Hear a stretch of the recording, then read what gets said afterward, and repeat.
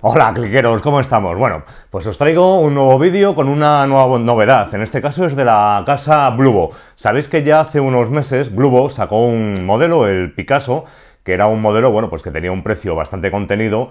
Lo único que en ese momento, pues este terminal, pues solamente tenía, llegaba hasta 3G.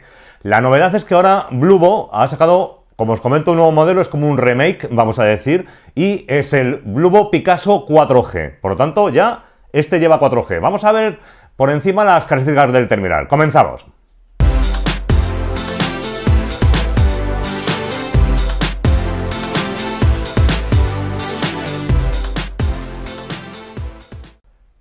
Bueno, ante todo comentaros que esto es un preview realmente. El, terminal todavía no ha salido a preventa, pero bueno, ya se están filtrando los renders eh, correspondientes sobre, sobre este terminal y comentaros así muy por encima. Vamos a ver, va a llevar un procesador, un MediaTek, un 6735, es un quad-core, y en cuanto al almacenamiento y memoria RAM, estamos hablando de 2 GB de RAM y 16 GB de almacenamiento. Luego, por lo que es en el apartado de la, pantalla, pues lo normal en este, en este tipo de terminales con precio contenido. Es una pantalla de 5 pulgadas con resolución HD 720p, como bien sabéis, y nada más que decir sobre, sobre ella. En el apartado fotográfico sí hay una mejora ya con respecto al anterior eh, terminal. Concretamente, estamos hablando de que la cámara delantera va a llevar un sensor de 8 megapíxeles y la cámara trasera es donde notamos el aumento, son 13 megapíxeles, con un sensor concretamente de Sony. Por lo tanto, se espera un apartado fotográfico correcto, vamos a decir, en este punto. En cuanto a la batería, hablamos de una batería de 2500 mAh concretamente, por lo que, bueno, para la resolución que tiene, eh, para una resolución HD, es de suponer que con la gestión del sistema que va a tener, que es Android 6.0, no es una gran batería, pero bueno, la verdad que debería de más o menos durarnos lo que es el día si no somos muy jugones o muy consumidores, ante todo.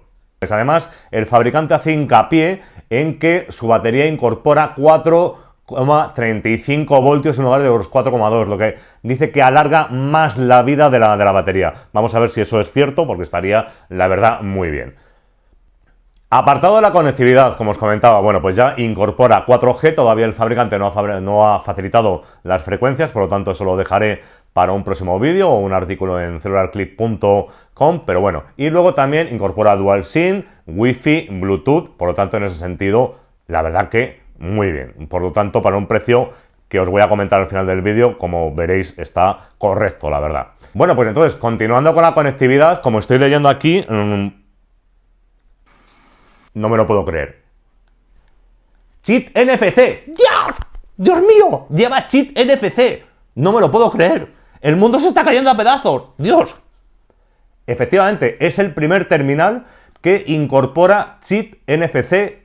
Vamos, no el primero, o sea, pero me refiero a este tema de, precios. A ver, os comento el precio. El, el fabricante ha asegurado que no va a ser mayor de 100 euros. Por lo tanto, a ver, estaba hablando unos 90 y pico euros aproximadamente.